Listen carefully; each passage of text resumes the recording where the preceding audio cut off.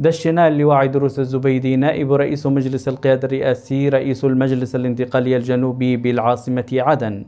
أعمال الاجتماع العام الثاني لهيئة التشاور والمصالحة المساندة لمجلس القيادة الرئاسي. تفاصيل أكثر في سياق هذا التقرير الإخباري. بحضور اللواء عيدروس الزبيدي نائب رئيس مجلس القيادة الرئاسي رئيس المجلس الانتقالي الجنوبي والدكتور أحمد بن مبارك رئيس الحكومة. دشن بالعاصمة عدن أعمال الاجتماع العام الثاني لهيئة التشاور والمصالحة المساندة لمجلس القيادة الرئاسي. اللواء الزبيدي ألقى خلال التدشين كلمة أكد فيها أن المعركة مع الميليشيات الحوثية الإرهابية معركة مصيرية لا هوادة فيها. معركة مفتوحة على كل الجبهات العسكرية والسياسية والاقتصادية وأن هذا الاجتماع امتدادا للجهود الكبيرة التي بذلت مؤخرا لتوحيد الموقف وتعزيز الاصطفاف لمواجهة تلك الميليشيات ومشروعها الإيراني الذي يهدد أمن واستقرار بلادنا والمنطقة.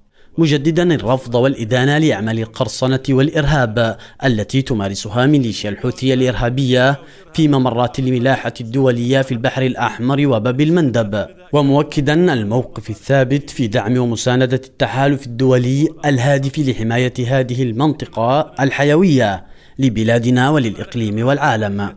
إن معركتنا مع هذه الميليشيات الإرهابية معركة مصيرية لا هوادث فيها. معركة مفتوحة على كل الجبهات. العسكرية والسياسية والاقتصادية والاجتماعية. اليوم هنا في العاصمة عدن يأتي امتداد للجهود الكبيرة التي بذلت مؤخرا لتوحيد الموقف وتعزيز الاصطفاف لمواجهة تلك الميليشيات ومشروعها الإيراني الذي يهدد أمن واستقرار بلادنا والمنطقة. وعليه فإننا نجدد من هذا المقام رفضنا وإدانة الأعمال القرصنة والإرهاب التي تمارسها ميليشيات الحوثي الإرهابية في ممرات الملاحة الدولية في البحر الأحمر وباب المندب ونؤكد موقفنا الثابت في دعم ومساندة.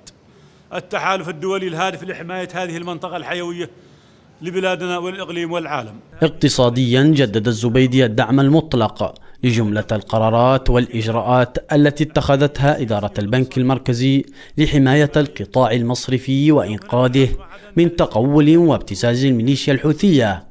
مؤكدا دعمه ومساندته لكافة الإجراءات التي شرعت فيها عددا من الوزارات بنقل المؤسسات الحكومية التي لا زالت تحت سيطرة وسطوة الميليشيا الحوثية إلى العاصمة عدن.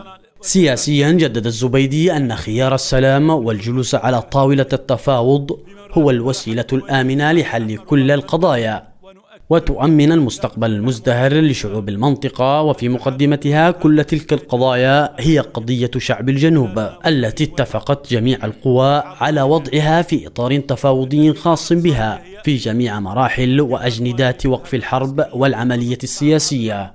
ومؤكدا تمسكه الكامل بها كمنطلق أساسي يضمن حل القضية بما يتناسب مع جوهرها ويلبي تطلعات شعب الجنوب وحقه في تقرير مصيره.